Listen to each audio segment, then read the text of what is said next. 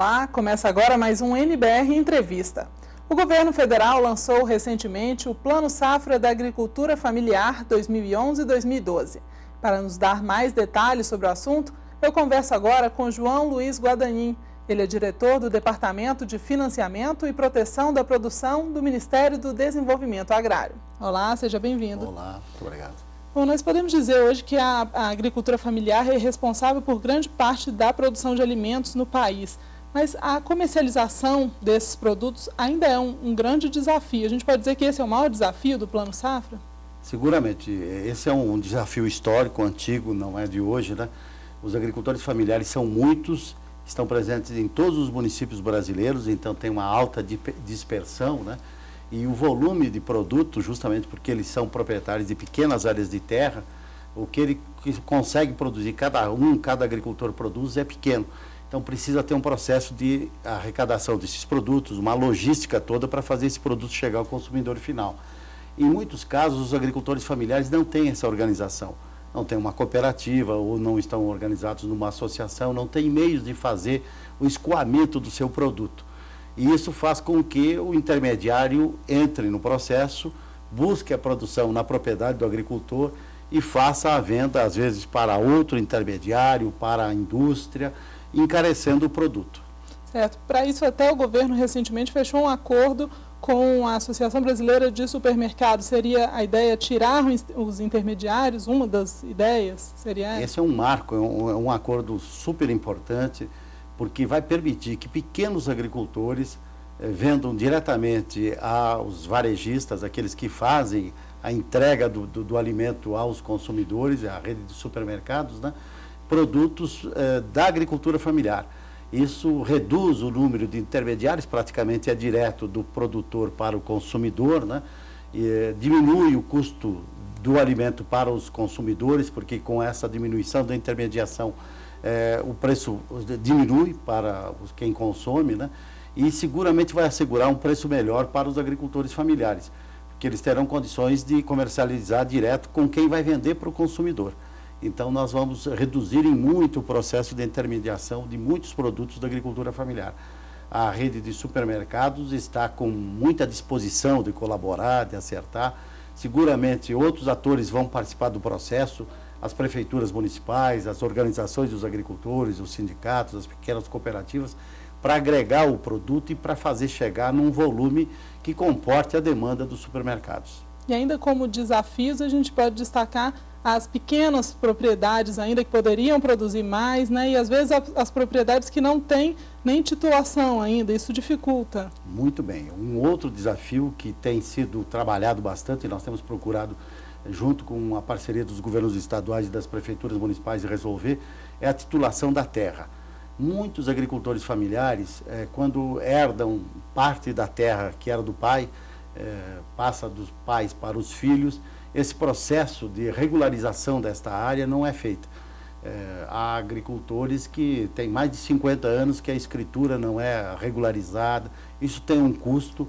Em parte, a Associação dos Notários, o pessoal dos cartórios tem nos ajudado, a Noreg, né, no sentido de reduzir o custo de é, escrituração, de, de, de, regularização fundiária, né, mas temos um trabalho grande para fazer nesse terreno. Com a regularização fundiária, com o título da terra, com a escritura, fica mais fácil para o agricultor acessar crédito.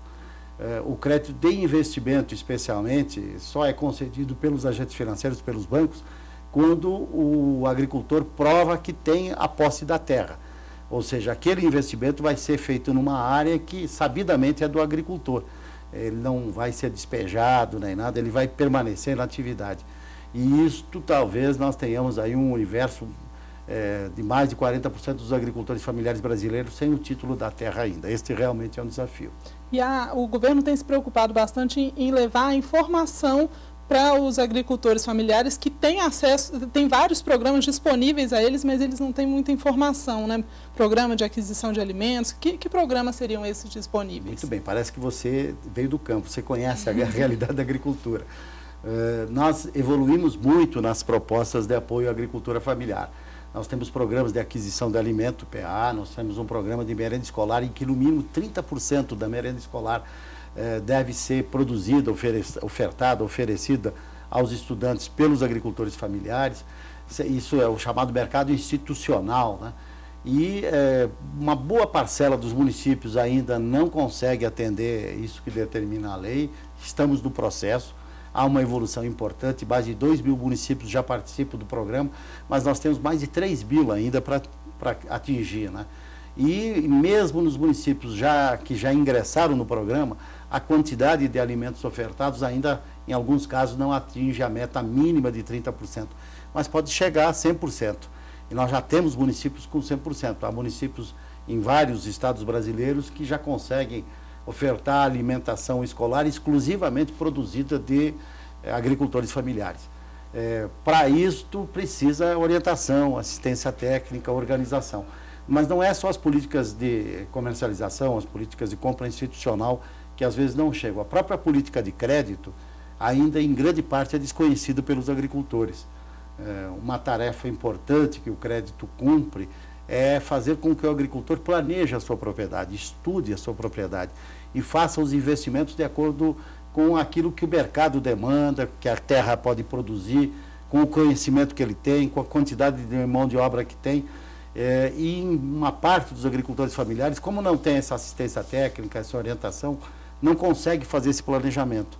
Sem um bom planejamento, um bom plano de atividade, de geração de renda, de inversão do crédito, fica mais difícil do agente financeiro aceitar a proposta de crédito e financiar o agricultor. Então, uma parte dos agricultores familiares não consegue acessar o crédito. Não acessando o crédito, como o nosso programa de seguros, o seguro da agricultura familiar, é atrelado ao crédito, especialmente o crédito de custeio agrícola, quem não faz custeio agrícola não tem seguro. Quando vem a seca, ou a geada, o granizo, quando há uma perda da produção por um fator climático ou por uma doença que ele não consegue controlar, ele fica com o prejuízo. Uhum. É, é verdade que nós avançamos muito. A grande maioria dos agricultores familiares que produzem alimentos já hoje tem a cobertura do crédito e do seguro, mas é um grupo grande que ainda precisa ser incluído. Quem não acessa crédito tem outro detalhe. Nós temos uma outra política. O seguro o agricultor paga 2% sobre o valor do crédito. É um pagamento pequeno para um seguro que cobre Verdade. até 100% do valor financiado, mais até 4 mil reais da receita líquida que ele teria. Então, o seguro cobre não só o que ele eh, fez de investimento, mas também a renda que ele né? teria. Né? E temos um outro programa, que é o PGPAF, o Programa de Garantia de Preços da Agricultura Familiar. É, Para este, o agricultor não paga nada. Toda vez que o custo de produção, que o melhor, que o preço de mercado ficar abaixo do custo de produção, ele recebe um bônus, ele tem uma diminuição do mesmo proporção que diminuiu o preço do produto dele, na hora Isso em que é ele vai pagar o financiamento. garantia de preços mínimos. Esse é um programa de garantia de preços da agricultura familiar. Eu já falo da garantia de preços mínimos. Certo. Por que, que eu me permito falar um pouco mais do programa de garantia de preços da agricultura familiar, o famoso PGPAF? Famoso nem tanto. Uma parcela grande ainda de agricultores não conhece. Ela é uma política surda. É, nós divulgamos pouco e o agricultor, quando vai pagar o banco, tem um desconto ele tem, por hipótese, que pagar 100, aí o banco diz, não, tu precisa me pagar só 90. Em muitos casos, nem o gerente do banco, nem os funcionários do banco, nem o agricultor fica sabendo por quê. É porque o preço daquele produto dele, naquele mês em que ele tem que pagar o financiamento, ficou 10% abaixo do custo de produção. Então é uma política que protege os agricultores contra esse fenômeno que é o famoso mercado, né? É, às vezes, quando há uma super oferta de um determinado alimento num determinado estado, o preço baixa. Nessas situações, nós temos o, o, programa de garantia de preços da agricultura familiar para proteger os agricultores. Então, além desses, agora a novidade é o política de garantia de preços mínimos. Isso mesmo. Os agricultores familiares terão, a partir da próxima safra, isso deve entrar em vigor no momento da colheita, né? lá a partir de janeiro, fevereiro do próximo ano, uma política de garantia de preços mínimos exclusiva para os agricultores familiares. É, inicialmente, nós vamos ter alguns produtos, aqueles que são mais sensíveis ao mercado, garantidos. Significa dizer que se o preço estiver abaixo do custo de produção e o agricultor não quiser o, pagar o financiamento com a proteção do PGPAF, ele pode entregar o produto num armazém credenciado pela Conab e o governo garante, no mínimo, o preço, de, o preço mínimo, o custo de produção para os agricultores. E então, a Conab dupla... que vai ser responsável por, por A esses... Conab é a grande operadora da política de garantia de preços mínimos para os agricultores eh, familiares ou não familiares. E ela uhum. vai continuar sendo a, a grande parceira da agricultura familiar. Nós temos na Conab uma parceria muito intensa. Ela trabalha tanto na política de garantia de preço mínimo, na PGPM, quanto no PGPAF. É a Conab que, que estuda, levanta o custo de produção e todo mês faz, na verdade, diariamente, a Conab levanta os preços recebidos eh, pelos agricultores no mercado, eh, onde se dá a comercialização nos principais municípios brasileiros em que há agricultores familiares. Isso é um trabalho também surdo, né? As pessoas uhum. às vezes não sabem, mas é muito importante uma rede muito grande de pessoas que colaboram, que participam, que trabalham na Conab e que ajudam a agricultura familiar. Bom, vamos falar dos números então. Qual vai ser o recurso disponível, está sendo já, né, porque foi lançado, os recursos disponíveis para o plano da safra da agricultura familiar e quantas pessoas devem ser beneficiadas com isso no Brasil? Muito importante. A oferta de crédito este ano está mais qualificada. Nós temos 16 bilhões de reais, uma grande parte desses recursos são recursos equalizados, ou seja, são recursos da poupança rural é, garantidos, então, que é, é uma, é uma garantia isso, de que o crédito de fato vai chegar aos agricultores, né? É, uma grande parcela desses recursos é para custeio, outra parte para investimento, e nós temos uma rede de 13 bancos ofertando crédito aos agricultores familiares. Bancos, bancos cooperativos e cooperativas de crédito. Então, a rede que oferta crédito aos agricultores familiares está consolidada, forte, entende o agricultor familiar e seguramente as condições que os agricultores familiares terão este ano serão melhores do que já tiveram em safras passadas. A cada ano, os agentes financeiros se aperfeiçoam no atendimento dos agricultores familiares. Melhor fica o tratamento dos agentes financeiros aos agricultores. E esse recurso é suficiente para. Nós esperamos pelo menos 2 milhões de contratos, eh, tanto de custeio quanto de investimento. É, é, preciso lembrar que nós temos hoje um universo de mais de 3 milhões e 200 mil contratos é, realizados por agricultores familiares. São contratos de investimento que foram feitos em safras passadas, contratos de custeio, e, e nós vamos agregar mais 2 milhões de contratos este ano. A maior parte são contratos de custeio, que é para atendimento do, do plantio da safra, contratos de duração máxima de um ano, né? Mas temos uma grande quantidade de contratos de investimento também. Então vamos deixar aqui orientações para o agricultor familiar que estiver nos assistindo. É difícil ter acesso aos benefícios do Plano Safra? O que, que ele deve fazer? É, é bastante simples. O principal é o agricultor familiar é, entender bem a sua propriedade e, diga-se de passagem, o agricultor familiar brasileiro é um dos mais esclarecidos, dos mais preparados. Ele conhece, ele é muito inteligente, muito hábil ele sabe o que pode produzir, o que, que a terra dele comporta, qual é o conhecimento que ele tem, quanto de mão de obra ele conta, que tipo de ferramenta, de meios de produção ele tem. Então ele faz um plano. Ele, a esposa, os filhos, quer dizer, a família decide em conjunto o que fazer e como aplicar. No que, que vão investir o trabalho, o dinheiro que tem, o dinheiro do financiamento.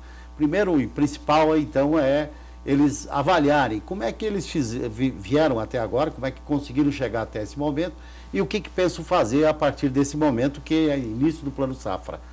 Depois é buscar a declaração de aptidão.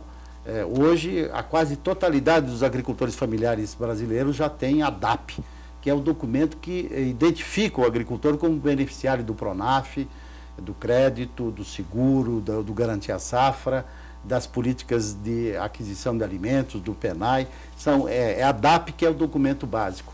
Também é muito importante ter um bom diálogo com a assistência técnica. É vital que os agricultores familiares se assessorem é, do técnico da extensão rural, da Emater, da organização não governamental que o assiste, da Secretaria Municipal da Agricultura, é, enfim, trocar ideias, uhum. saber o que, que é, tem possibilidade de gerar mais renda, qual é o tipo de atividade que combina com outras, como ele pode fazer a diversificação produtiva. Toda vez que o agricultor familiar explora um grupo maior de três ou quatro atividades, a segurança que ele tem é maior. Quando ele se dedica a uma atividade ou no máximo duas, a possibilidade dele ter renda é menor porque o risco é maior. Ele, eh, se ele tem mais atividades, se ele diversifica a produção, ele dilui o risco, ele aumenta a possibilidade de renda. Então, é este, são esses os princípios, é muito fácil e é buscar a orientação da assistência técnica e dialogar com o banco. Ok, muito obrigada pelos esclarecimentos.